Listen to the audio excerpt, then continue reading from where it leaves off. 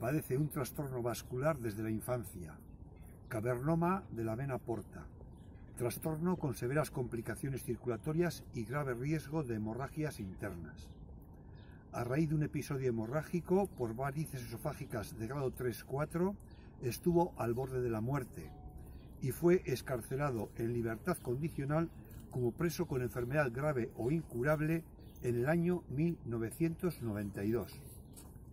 Hoy vuelve a estar encarcelado sin que se haya curado su enfermedad, con severos problemas circulatorios y el riesgo de complicaciones hemorrágicas fatales, sin garantías de poder hacerles frente, por la falta de cuidados que precisa